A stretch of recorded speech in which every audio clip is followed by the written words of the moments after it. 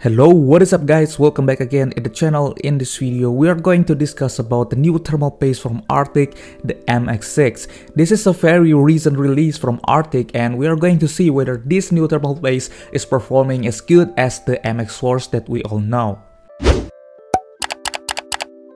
So starting from the packaging, it is actually pretty similar to the MX4. Uh, at one side of the packaging, you will see a barcode and you could scan this barcode to check the authenticity from the thermal paste that you have bought. The design of the tube is also very similar to the MX4, it's just the MX6 now has a turquoise color, but other than that there is no many noticeable differences. In this video, I'm going to compare the performance of the new MX6, of course, compared to the old MX4. And then I also have another thermal paste here as well, like Cooler Master V1 IC Value, Cooler Master Master Gel Pro, and then Arctic Silver 5, and then lastly the Noctua NT-H2. In terms of consistency, I think the MX6 has more viscosity to it compared to the MX4 and if you take a closer look at the video, it is much more comparable to the Arctic Silver 5. So it is a bit condensed if you try to spread it, but it's actually not that bad. So the processor that I'm using right here is a Ryzen 5 5600G. As you all know, this is not a processor which produced a very high heat. So in order to reach that high temperatures, here I'm only using a CPU heatsink without mounting any fans. But here I still use 120mm fans at the front as an intake and then also at the back as an outtake. And also if you're curious about the case that I'm using right here, it is a Phanteks P200A. The case came with two 120mm fans and these two fans is exactly what I'm using for this test. Alright, starting with the Arctic Silver 5. At idle, the temperature is actually pretty good. It was sitting around 44 to 45 degrees Celsius, but then when I'm trying to run Cinebench R23, the temperature reached about 82 to 83 degrees Celsius.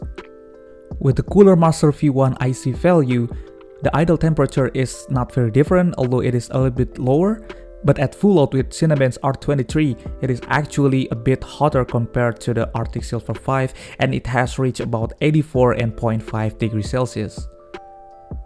The next one is Cooler Master Master Gel Pro. At idle, as you can see, the temperature is much lower. It was sitting around 40 to 41 degrees Celsius, but the temperature at full load using Cinebench R23, it also reached about 83.5 degrees Celsius. And then now we have the famous Arctic MX4.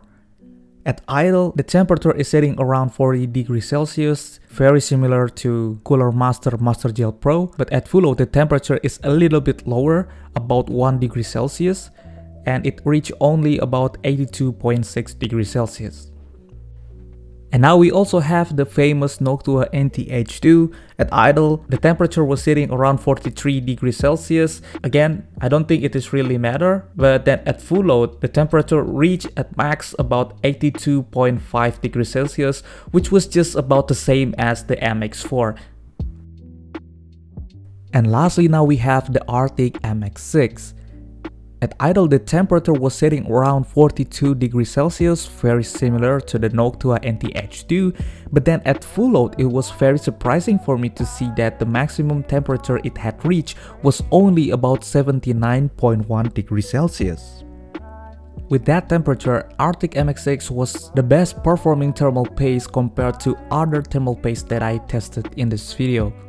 It was actually quite strange that the Noctua NT-H2 performed very similar compared to the MX4, but it was still beaten by the new MX6. Unfortunately for this test, I don't have a very powerful CPU which produces a very high heat so that we could see how well the new MX6 performs in much higher temperatures compared to other thermal paste as well as its predecessor the MX4, but I think you guys could still have an idea from this video.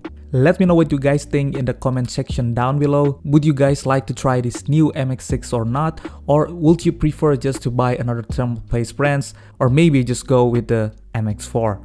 Don't forget to hit the subscribe button and the notification bell so you guys know when I uploaded a new video in English. Thanks again for watching and see you in the next one.